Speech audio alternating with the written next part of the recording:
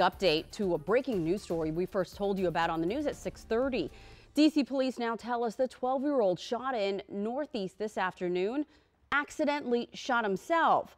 Fortunately, he, he is expected to be okay. This happened on J Street in the Mayfair neighborhood, an area that's seen far too much gun violence. Just last night, there was a deadly shooting just around the corner. And on Mother's Day last year, you may remember a 10 year old girl died when a stray bullet hit her as she rode in the family car.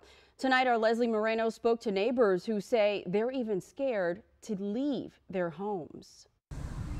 This Mother's Day, a 12 year old boy is in the hospital after accidentally shooting himself in the 3600 block of J Street Northeast.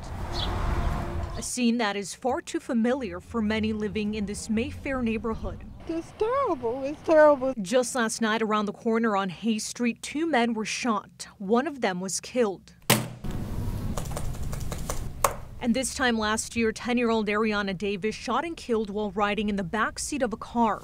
She was celebrating Mother's Day in the same Northeast neighborhood. Arianna was caught in the crossfire and shot in the head. So far, three people have been charged in connection with her death. Later, and there's still signs of the indiscriminate gunfire that shook Many still recovering from the traumatic event that shook this neighborhood for months, and many still scared to leave their homes. And I just pray every day I go and come, but I've been a hermit in my own house. What was supposed to be a happy Mother's Day this year turned into another violent and deadly weekend. Tonight, residents crying out in fear, hoping for change and healing. Teenagers took over, and don't keep telling me it's happening everywhere.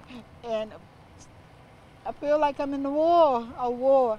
It looks like Iraq. That's what I feel like. And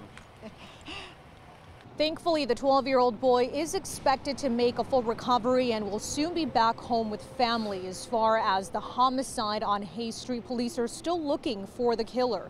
If you have any information, call police right away. In Northwest DC, Leslie Moreno, WUSA 9 have to do better to keep each other safe.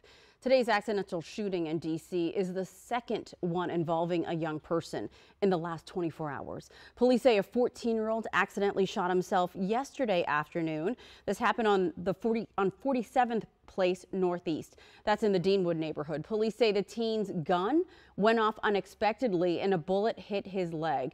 He was conscious and breathing on the way to the hospital. Right now, it's unclear if he's facing any charges.